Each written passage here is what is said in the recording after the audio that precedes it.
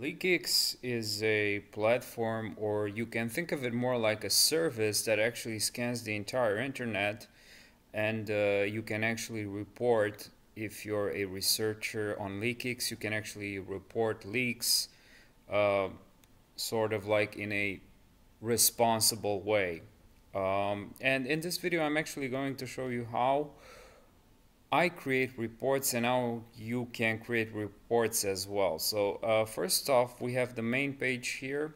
Uh, we have this um, very interesting monitor, which I really like because this is this isn't actually an animation, but this actually happens in real time. So these are uh, as it scans the entire internet. So I really like this. Uh, when it comes to search, this actually works like any generic search engine you can apply uh, like operators and uh, search uh, queries as you would do in um, Shodan or in any other similar engines. Now, if you're just starting out, you might want to look into the search syntax and you might also want to look into, so first off, before the search syntax, you can actually look for leaks and services. When you're looking for leaks, you're actually looking via a filter of plugins, if I can put it that way. And these are some of the plugins that are actually uh, can be found uh, or that are actually used to search and display the results as leaks. As when it comes to services, you can think of services as a sort of like a fingerprint uh, that actually scans or looks at all the ports that are actually found via generic fingerprinting. Now, I usually look for links. I'm not interested in um, services. And uh, like I said, you can look into the search syntax. You can apply operators such as plus, minus, colon, greater than, equal than. And when it comes to fields, uh, you can scan for ports. You can scan for the number of rows in the data set. So this is actually when it comes to how large a leak is you can scan for uh, the rows, the size, whether or not it has indicators of compromise, whether or not it's been infected. You can look for plugins, and this is actually what I apply in most of my searches, leak count, and so on and so forth. Now, the reason that I'm doing this video, as I said, is to actually show you how I create reports.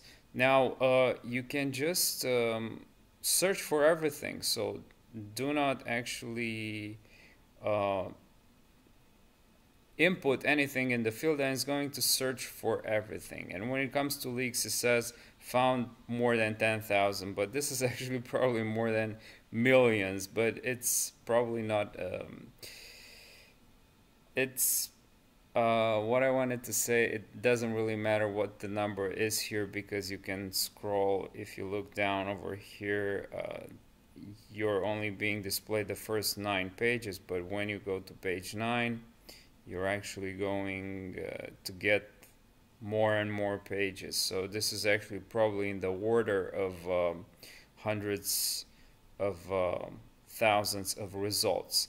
Now, uh, we are on the first page and if, if we keep refreshing this page is going to be popular popularized or yeah populated not popularized. It's going to be populated with more and more results as they get from the uh, functionality. Now uh, we have a nice um, filtering here for countries for sources which is the plugins for the fingerprint network IP ranges and so on and so forth. And when it comes to the results themselves you can see that they have been found by a certain plugin .dstor plugin .elasticsearch elasticsearch plugin and so on and so forth. So let's actually look at something that might appear more interesting. I usually don't look for WP user enumeration which is uninteresting uh, we can look for a .dstor plugin so we can actually as you can see in this case it populates the results. It populates the query so it actually searches one more time for only the results that uh, have been found with the .dstor plugin. And in this case we can see that in the index there are more than 400,000 results. Now let's actually look at something that might appear sensitive in this case. Um, something that might have uh, some SQL or some so here's one uh, result that we might actually want to look into. Uh, we can see uh, a SQL version 2 uh, or ver2 database here. And what we want to do is we want to create a report here. We can see that the certificate domain is bitcar2u.com. Let's go ahead and first want to validate this. So we can first look into the uh, actual result itself. We can see that it has been found multiple times as well as two days ago uh, and also 16 hours ago we can see again that it belongs to bitcar2u.com. This is the URL. And let's actually uh, validate whether or not the SQL database is actually um, downloadable or, publicly accessible. And as you can see, uh, this uh, this is actually a valid result. So they, in a way, are compromised. So we want to prevent that. Let's go ahead and create a report. Um, first off, we need to fill a few things here. Uh, I usually do the keep private thing because I'm not really interested in actually displaying publicly on my profile here whether or not or the amount of leaks that I'm finding and I'm reporting even though sometimes I brag about it on social media and then I fill in with this captcha 658 uh, 6 337. Uh, okay, so now that is out of the way, I also want to say that this is critical or maybe at least high. Then the owner is uh, a bid car to you over here, bid car to you. What we need here, and this is actually a, a key aspect of writing reports. First off, let's say database leak. All right. The owner. This is actually tricky because sometimes it can take hours until you find um, a contact or an email where you would actually want to have this report being sent and the platform actually takes care of the sending of sending uh, the report and also attaching this uh, sort of like um, proof of your report. So we're looking for an email address. Usually it isn't as simple as it may be here.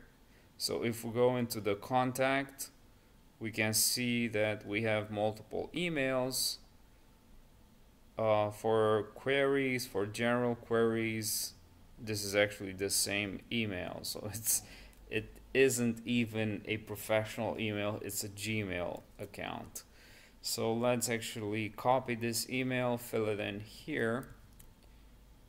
Alright, and then let's just write some, I usually write hello, um, your database can be publicly accessible and download downloaded as you can see in the proof below. Please make sure to